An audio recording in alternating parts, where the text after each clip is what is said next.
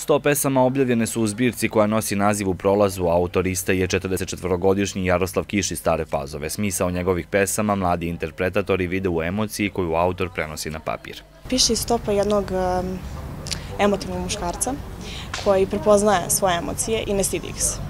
Mislim da je to ono što našim muškarcima možda ponekad i fali. Ključ sna, zatočenik sobstvenih misli, ostao sam budan i drugi naslovi Kišovih pesama govore o svemu onome što doživimo u prolazu. Postoje razni prolazi u kojima se nalazimo, neko je u nekim, nekom širokom prolazu, neko se nalazi u nekom užem prolazu. Znači, prolazimo kroz život, nailazimo na razne stramputice, na, na, na, na postajemo i postoji tu i sreća i nesreća i, i sve te životne stvari koje nas okružuju.